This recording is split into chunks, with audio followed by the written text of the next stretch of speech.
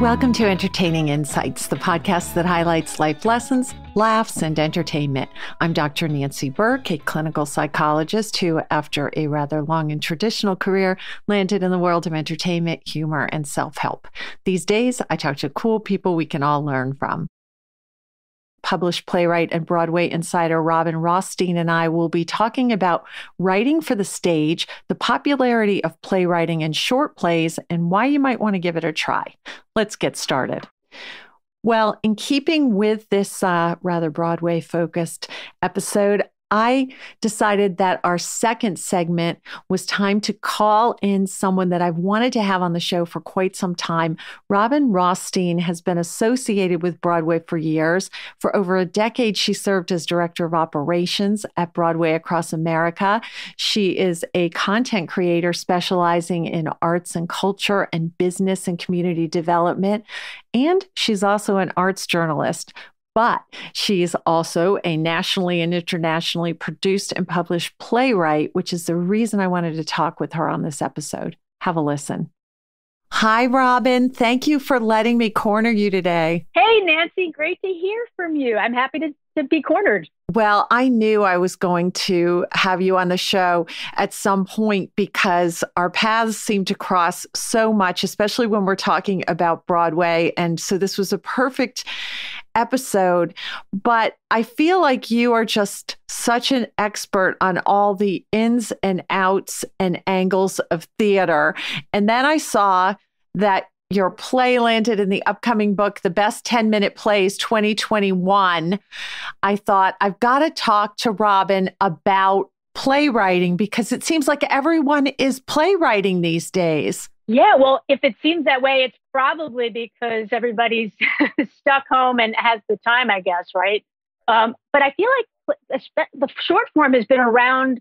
Well, I've been doing it a long time and it's been popular for a long time, but I bet it is more popular now because uh, there are a lot of uh, benefits to it um, for the people writing and for the producers, I'd say. Well, and I had never heard about short form playwriting, and um, or at least like a few years ago. And then all of a sudden, I start seeing friends on Facebook posting about their short form playwriting and awards they've gotten and things like that. And so I just wondered if, you know, is it something that has been surging over the last few years, or is it just something that I'm suddenly noticing more for whatever reason? Uh, it might be that, that you're noticing it more. I feel like it's been around, but then there are always companies evolving. And also now that we're online as well, that there might be more companies looking to the short form as a way to get more content out. So it, it, could very well be, from an anecdotal standpoint, uh, that it is surging, and it might surge even more. So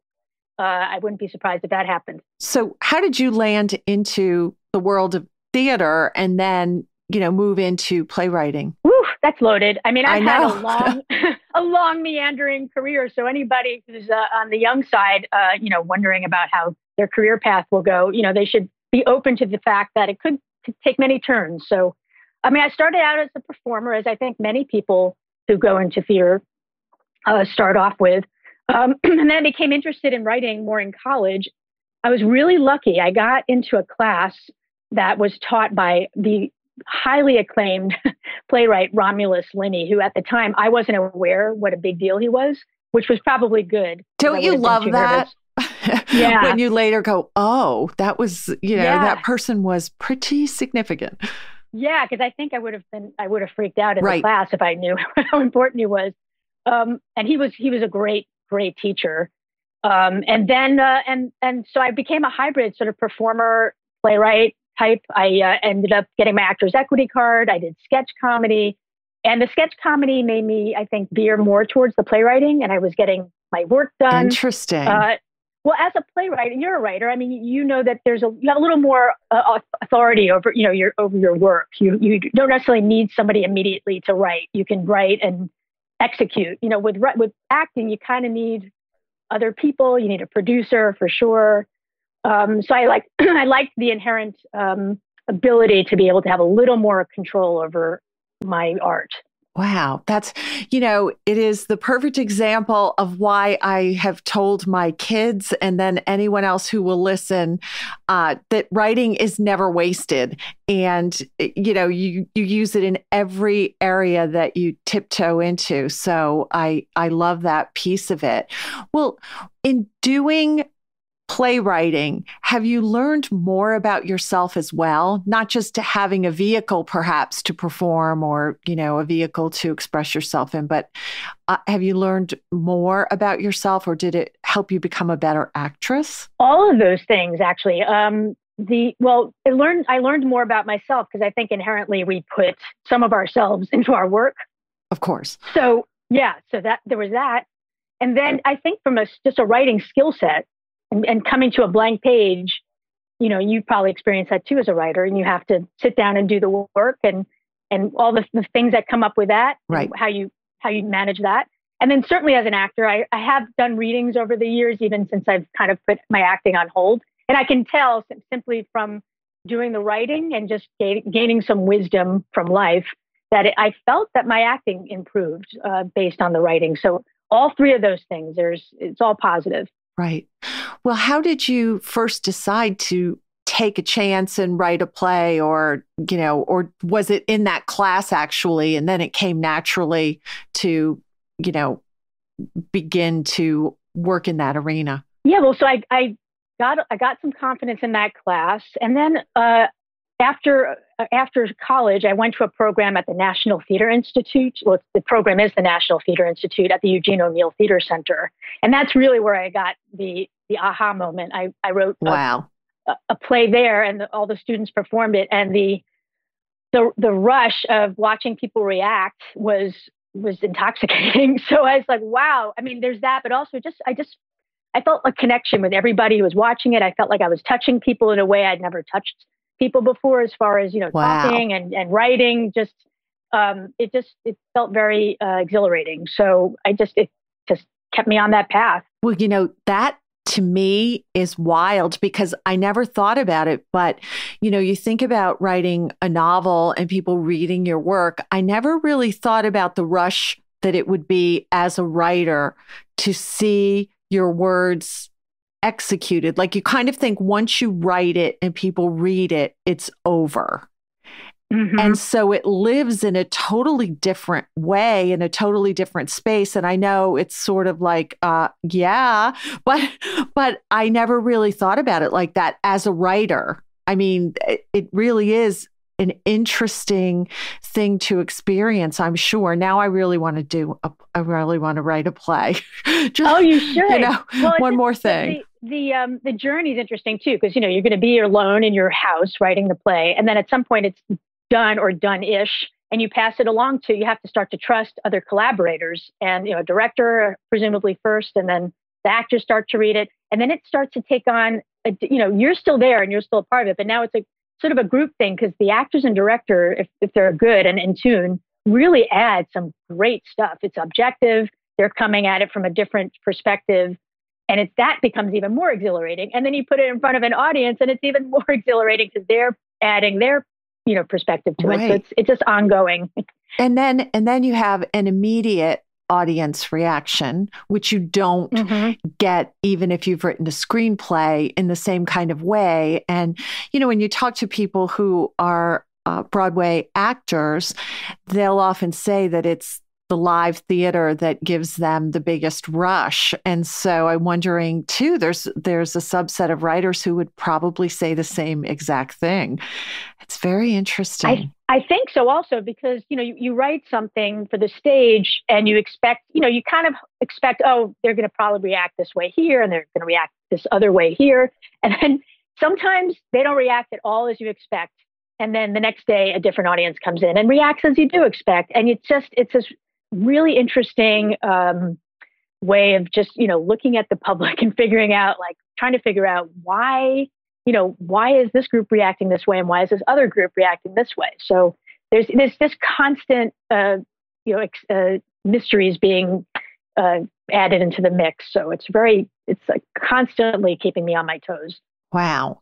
Well you are the woman behind or one of the people behind Mad Libs Live. And I was wondering if you could give us the very short lowdown on how that happened, what you did, and what it was like bringing Mad Libs, which I'm sure people uh, know about. I grew up with Mad Libs, or I didn't grow up with Mad Libs. I, my kids grew up with Mad Libs, so I kind of grew up a second time with them. But can you give us a scoop? Yeah, the scoop is um, my brother in law, who was not yet my brother in law, was uh, very close with Leonard Stern who uh, was the creator or co-creator of Mad Libs. Oh, that's cool. I was always a yeah, I was always a fan, and I just come off of writing a, an original children's musical. I was looking for something else to write. I was chomping at the bit, and I was like, oh my god! And I, I get to meet Leonard Stern at my sister's wedding, and we got to talking, and it and the gears started turning. I'm like, wow, I think I, I bet this would be a great kids musical, and so I stayed in touch with Leonard, and I asked for his blessing, and he said yes.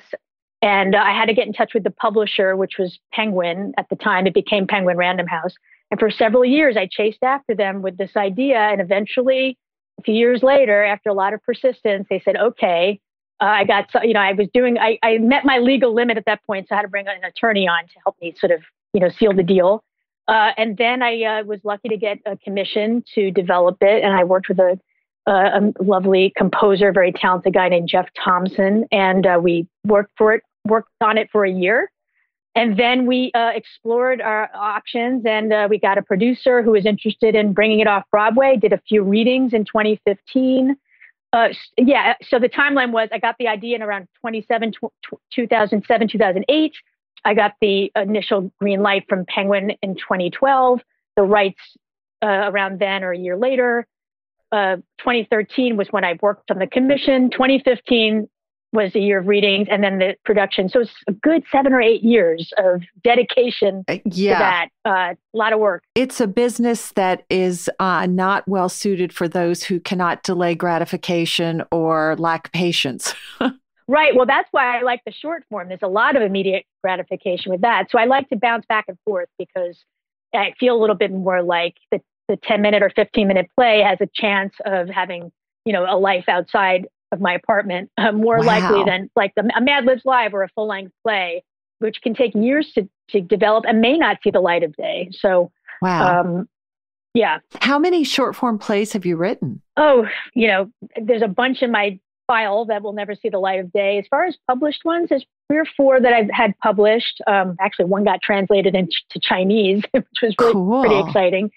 Um, yeah, four or five um, are published that I, you know, this one's going to now be like the fifth one, I guess. Um, yeah, and a few monologues are out there and some anthologies. It's great. If they every once in a while a student will email me to ask permission to do it, and that reminds me, oh yeah, there are people around the world that actually, you know, know about my work. It's pretty exciting. That's amazing. Well, you have such a background in theater. I'm wondering if someone like me or someone who doesn't have writing experience, is this something that people can almost self-educate on? Is it is it worth trying to tiptoe in if they're somewhat interested or fascinated by the whole concept? Um, i would say that you know working in a vacuum is probably not ideal and there's so many ways that you can have be exposed. You know you, you can probably attend uh, uh, online readings now and observe you know what plays seem to be working what are not working. Right. There are online classes by different theater companies. I'm thinking off the top of my head, the Playwright Center out of Minneapolis. If you become a member there um, for, I think it's only 75 bucks a year, you can have access to all kinds of things. They have a list of contests and festivals, and they have classes. Wow. Um, and I think just bit by bit, um, and I think, and then you just start, you know, approaching the page, and then you gather some friends either online or in your apartment and and hear it out loud because on the page feels one way and then you hear people say stuff out loud and the cadence and the tempo may not be what you expected. And so you go back to the drawing board. It's constant you know trial and error uh, between page to you know human being reading it out loud. So it's it's a process. I would i would say look to what like i said if you can find readings and see what what works find a, a, a low maintenance kind of class Um, but I think it's something people can pick up, and I think it's it's a very rewarding. Even if you finish it, it's just a rewarding experience. Wow. Well, you're such an advocate for the theater, and I'm just so grateful that you joined us today. What's the best way for people to find out more about you? Yeah, they can just go to my website, robinrothstein.com. Um, and I'm also on LinkedIn, so they can say hello to me over there. Oh, that's great. Robin, will you come back because I have so many more questions and I I just I really feel like this is such a great opportunity for people to find out more about the theater in so many interesting ways. You have so many different angles and hats um, in the field. Yeah, absolutely. I'd love to come back. Well, thank you so much. Thanks, Nancy.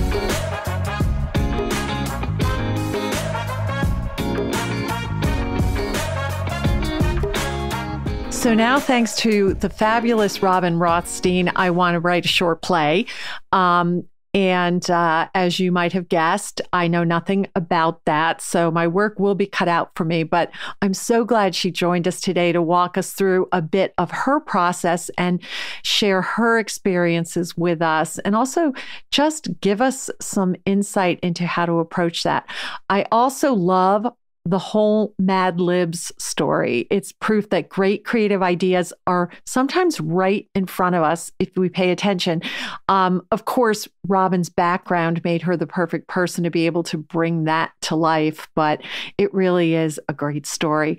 We will have links to Robin and her work in the show notes, but make sure you go to robinrothstein.com for more on Robin. Well, that's a wrap for today. Thank you again to Brian Stokes Mitchell for joining us and sharing his wisdom and his talent. And thank you to Brian for all of his advocacy work. I hope you enjoyed this episode. If you did, share it with a friend. Better yet, share it on Facebook with all of your friends, and leave us a review on Apple Podcasts. Head to entertaininginsights.com for more of my interviews with other Broadway actors, including Sutton Foster and Kelli O'Hara. If you haven't already, subscribe to the podcast so you won't miss an episode. We're on Apple Podcasts, Spotify, Stitcher, wherever you get your podcasts. This is Dr. Nancy Burke. Thanks so much for listening. Have a positively entertaining day.